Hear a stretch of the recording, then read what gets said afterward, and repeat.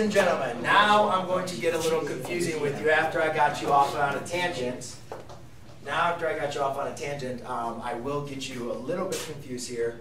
Um, by now looking at a problem, we have 9 divided by q equals 15 over 5. Ooh. So, okay, well now Ms. McLogan, if we're going to think about this inverse operations, what's happening to the variable? Well now the variable is dividing into a number. So what can I think about what's happening to the variable?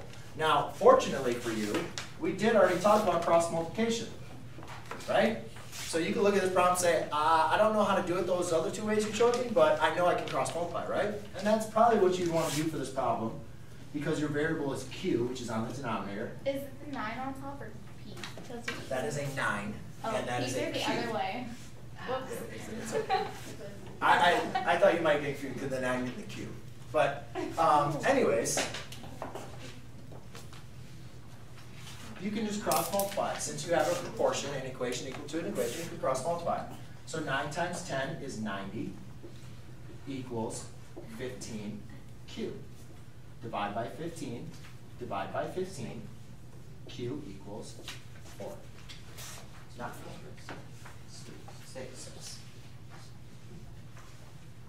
All right, now there is another way though to solve this, which I do want to at least address to you. So, ladies and gentlemen, we already talked about when we have fractions, we don't like to have fractions, right? Didn't we say we don't want fractions? Right? And when getting when we have fractions, we can eliminate the fractions by multiplying by the L C D. Yeah, the least common denominator. So, ladies and gentlemen, you can do the same thing. The least common denominator between 10q or 10 and q is 10q. So if you multiply by 10q on both sides, the q's eliminate, the 10's eliminate, and you're left with 90 equals um, 15q. Then divide by 15. q equals 6. All right, so there are two different ways. I know you guys will probably prefer the cross multiplication method, which is perfectly fine. There's nothing wrong with that. I just want you to understand where cross multiplication comes through.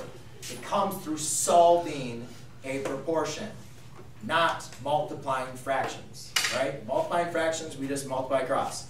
Cross multiplication is just a, a nice method for solving a proportion, okay? Because you can do it this algebraically as well. All right, there you go.